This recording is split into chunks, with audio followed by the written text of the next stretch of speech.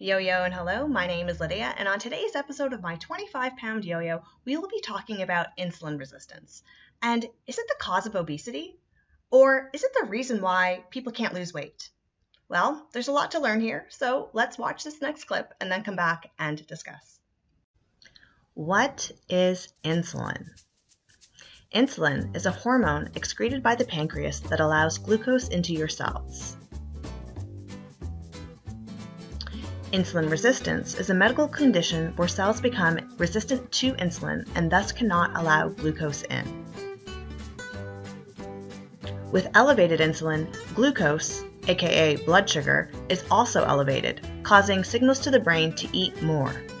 Your body doesn't need more food, but you feel like you do since the nutrients in the food you were given were not properly absorbed, and excess glucose gets stored as fat. Excess visceral fat blocks insulin from doing its job and letting glucose into cells. So, does insulin resistance make you gain weight no matter what you eat? No, it always comes back to calories in versus calories out. Insulin resistance makes you want to consume more calories than you need, which results in weight gain.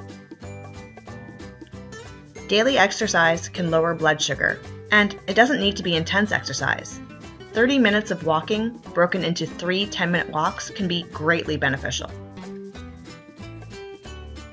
Lose weight by creating a calorie deficit, meaning eat less than you burn.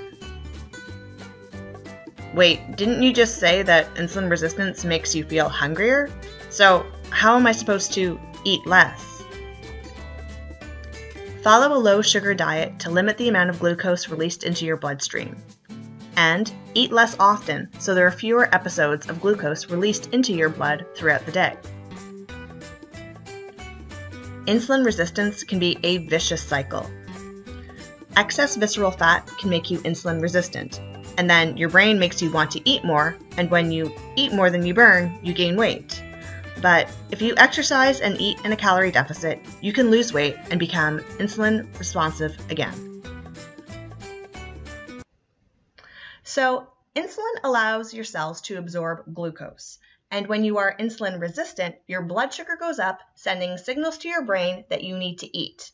And then you excrete more insulin, and the excess glucose not absorbed by your cells gets stored as fat. And this cycle goes round and round and round, making your weight go up and up and up.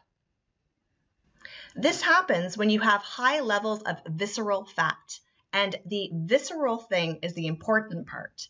This is the fat around your organs, not the subcutaneous or pinchable fat just under the skin. So you can actually look healthy on the outside and still have lots of visceral fat on the inside. Heck, my boyfriend looks very fit, but when he gained weight a few years ago, you could still see his abs. But the truth was, his internal fat was pushing his abs out. Likewise, people that are obese that have low visceral fat are less likely to become insulin resistant. Think of a pear shaped body where most of the weight is in the butt and the thighs. Those people have far less risk of developing insulin resistance than someone that is more apple shaped with all their weight around their middle. So, if you become insulin resistant, does that mean that you're just going to go round and round in this circle and continue to gain weight? No, there is a way to fight it. I received a comment a little while ago that I should educate myself on insulin resistance because obesity isn't a choice for everyone. So I've done my research and here's the video. The parallel in the comment that was made was that an alcoholic can get rid of bottles and a smoker can get rid of cigarettes, but you can't expect people not to eat. And that's true. But not eating isn't the answer, it's what you eat. And since we are comparing obesity to an addiction, you can get rid of all the processed sugars in your diet. By following a low sugar diet with emphasis on foods with high satiety factor, you can lose weight. Whole grains, proteins, and fats can squash hunger and not spike blood sugar, which will stop the signals being sent to your brain to eat more. Daily exercise is also important. Just increasing activity to 30 minutes a day can help lower blood sugar, which will also assist in breaking free of the insulin resistant cycle. And when you do lose enough visceral fat, your body will become insulin responsive again. So, is insulin resistance the cause of obesity? No, it's likely that obesity caused the insulin resistance. But remember, that's not in every case. You can appear to have a healthy body but still be insulin resistant. Insulin resistance alone does not make you gain weight. It makes you feel hungrier when you aren't, and then you eat more, and then the excess calories make you gain weight. Insulin is not a magic hormone that causes weight gain no matter what you eat. So, is insulin resistance a reason for not losing weight? Again, no. Insulin resistance makes it more difficult to lose weight, but not impossible.